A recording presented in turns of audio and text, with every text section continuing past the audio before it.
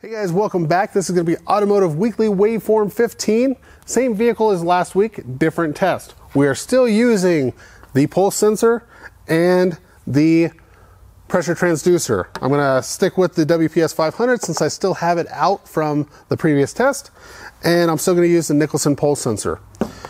This test is going to be a cooling system pulse test with the sync and possibly relative compression we are suspecting a bad head gasket on this vehicle and we want to confirm that we have some pulses going on in the radiator.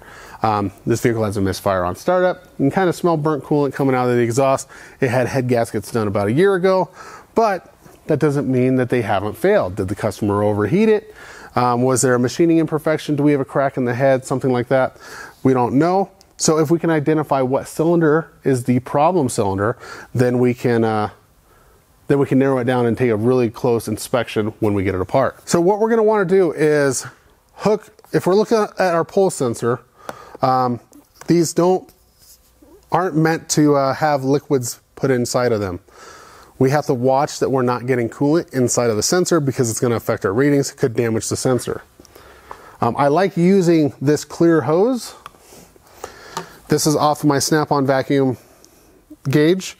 Um, I know it's a little long for what most of you guys use for your testing, but it gives me kind of a buffer. If I see coolant going into this hose, then I can shut the vehicle off real quick or I can unhook the pressure transducer. Actually, what I normally do is hook the hose from the radiator because any pressure that has built up in the hose will expel that coolant back out of the hose. Um, so it's something you want to watch out for. Don't get junk into your sensor. Also, don't let this sit on the engine as you're running it because you're going to get weird waveforms. So I have a radiator cap. This is the one I took off the vehicle. Um, I have another one that has the little center button broken off of it. So it works perfect for letting me just hook up to the radiator overflow neck and I'll still get all my pulses. Some guys use their pressure gauge setup. They'll put their adapter cap on there and hook up that way. Some guys will use a little chamber in their line, just a little air chamber so they don't get coolant into their gauge as well. If you can drop the coolant level a little bit, that helps. Um, but the more you drop it, the less movement we're going to see in our pulses, I believe, because um, we're going to have more air volume. Liquids don't compress, air does, so it'll it'll dampen it a little bit if we have a bunch of air in there. Now we are going to do this test a couple of different ways. We are still going to need a synchronization channel. So we are going to try it as a running test to begin with. I'm going to hook up to the cylinder number one ignition coil. The, the problem with this vehicle is it's a waste fire system. So when it fires that coil, we don't know if it's firing cylinder number one or cylinder number four, I believe, um, since they share the same coil. So we could narrow it down to two cylinders potentially, um, but we may have to do something else to get a better synchronization channel if we want to pinpoint that test. But let's go ahead and hook this up. I'm already hooked up on the radiator. Hook my two wires on here. Uh, we're going to start with 200 millivolts.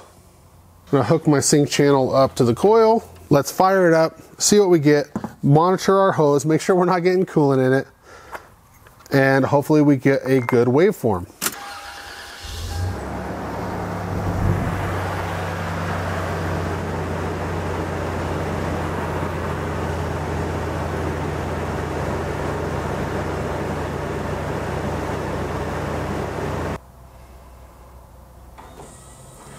Okay, our pulses don't seem quite consistent enough for me to identify a specific cylinder. Um, they kind of come at random. So our next step is going to be trying a cranking test instead of a running test. Now I don't have clear flood mode on this vehicle. I'm gonna disable ignition, we're gonna lose our sync. If we see a better pattern in the cranking format, we're gonna have to find another way to get a sync channel. Okay, ignition is disabled.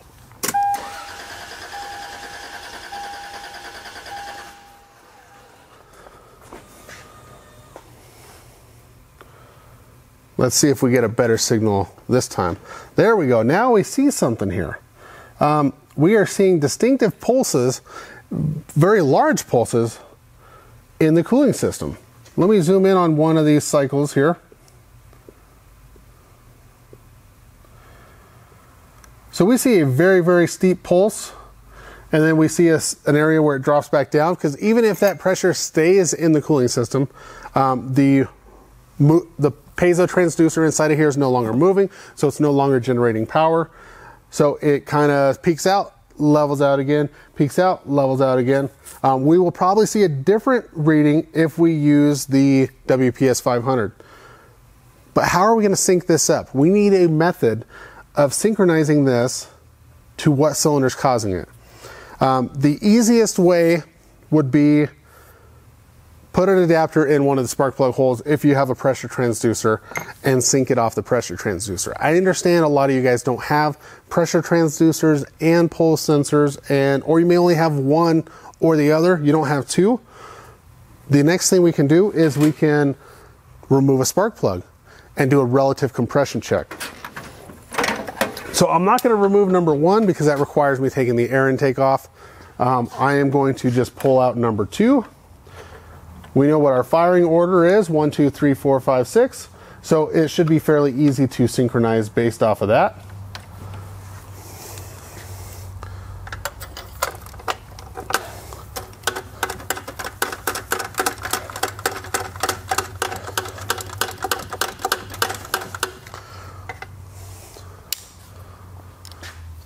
And since I have a spark plug out, I don't see any antifreeze or dampness on this plug. So it's probably not in cylinder number two. I need to move my sync channel, which I need to get another clamp. So now instead of going to the ignition coil, I'm gonna go to the battery. This is going all the way back to some of the first weeks when we started um, testing batteries and then we did a relative compression check. And we don't need an amp clamp for this. An amp clamp gives you a little bit clearer picture, I think, but we don't need it. I'm just going to hook up two positive and negative on the battery with my with my leads there to simulate a waveform from an amp clamp. What I'm going to do is I'm going to go to we got to hit record here. I'm going to go to channel 1. I'm going to go to 5 volts. I'm going to couple it AC. That's going to take away our DC aspect of it and I'm going to invert that waveform. The only thing we're going to get is our pulses from the engine cranking over. I have a spark plug removed. We should have a missing pulse that lines up with cylinder number two. So based off of that, we can find out where the pulses are getting into our radiator. Let's give it a crank and see what happens.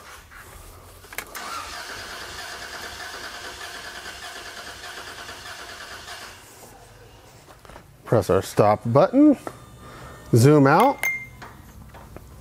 That's pretty close to what I want. I want zoomed in a little more though. I'm gonna hit the record button and do it again.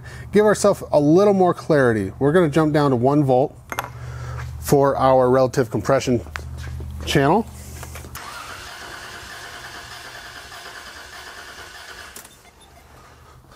Press that stop button, zoom out. That's a little better. Okay, we know that we have a big spike in the radiator. We know that we have cylinder number two spark plug out. We know what our firing order is. So when are we gonna have the uprise in amperage or the downslope in voltage? That's when we're on compression stroke. That's when we're gonna get that compression pushing into the radiator. So if we have a missing spot on cylinder number two, right here, this would be cylinder number three, four, and 5. Now it seems like we have pressure from cylinder number 5. We could be getting a slightly de delayed reaction. Um, it could be the compression from this cylinder takes a little bit to work through the cooling system. Sometimes you do have a delay. So I'm going to narrow it down to cylinder number 4 or cylinder number 5 that's causing our head gasket issue. Those would be the two cylinders that I would jump in and say, this is what it is. Um, I'd pull those two spark plugs out and do a visual inspection. You guys are going to want to see what the difference is between the pulse sensor and an absolute pressure sensor or pressure transducer. So I'm going to swap my lead over to my WPS 500. I'm going to go to range 3. I'm not going to use the zoom feature. Because I want to see what the absolute pressure is. I want to see if we get an increase of pressure every time that cylinder comes up on top dead center. So we do need to hit record. Um, I don't know if my scaling is correct. We'll give it a bash and see what happens.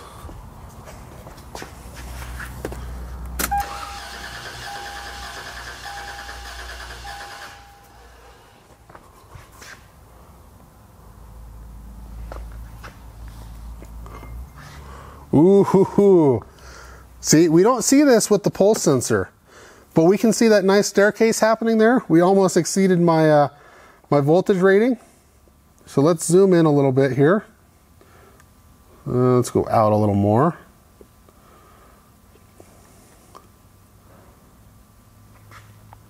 Okay, we get that staircase happening. Every time that cylinder comes up on compression, it blows a little bit of pressure into the radiator and it keeps that pressure in the radiator. Um, we see a little bit of, of a dip afterwards because that piston's going to go down. It's going to suck a little bit of air back out and coolant out of that cooling system. And then the next time that piston comes back up on top dead center, we get another spike into the radiator. So our dead cylinder, cylinder number two. So if we go cylinder two, it should be here, three, four, five. I'm still on the fence. It could be cylinder number five that is causing that pulse. Um, it in this capture, it looks like cylinder number five is more likely our culprit. There and there. Now I can get to cylinder number four pretty easy. So if I pull cylinder number four spark plug and crank it over, there's gonna be no compression in that hole. If I don't see a spike going into the radiator, then I've identified the cylinder. Now cylinder number four, I do not see any antifreeze on the plug. Uh, let's go ahead and crank it over and see if I still have a pressure pulse. If we do, then it's definitely cylinder number five. I was just on the fence because it was kind of in between the two cylinders, but I'm thinking it's cylinder number five.